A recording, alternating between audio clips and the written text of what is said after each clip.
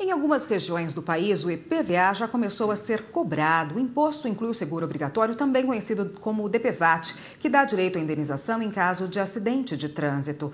Mas alguns casos relacionados ao pagamento desse seguro vão parar na Justiça. O seguro DPVAT é conhecido pelos motoristas como seguro obrigatório. Ele é pago todo ano junto com o IPVA, mas pouca gente sabe que pode usar em caso de acidente de trânsito. DPVAT? Bom dia. Já vi falar já.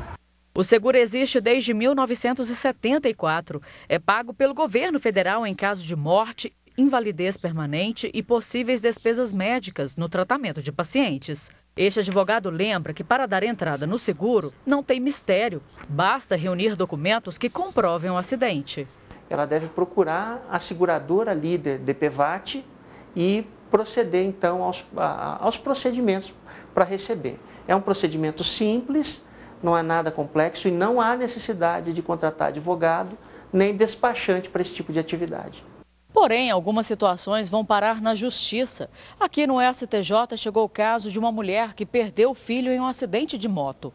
Ela deu entrada no seguro DPVAT, mas omitiu a informação de que tinha uma neta, a única beneficiada de fato. A seguradora alegou que a omissão de informações causou prejuízos, porque teve que pagar o seguro para a pessoa errada e ingressou com uma ação penal contra a avó da menina. A seguradora queria atuar como assistente de acusação em crime de falsidade ideológica. No Superior Tribunal de Justiça, o ministro Reinaldo Soares da Fonseca não aceitou o pedido. Para ele, a seguradora não tem legitimidade para atuar como assistente de acusação. O ministro ressaltou ainda que a verdadeira prejudicada foi a neta, porque não recebeu os valores devidos.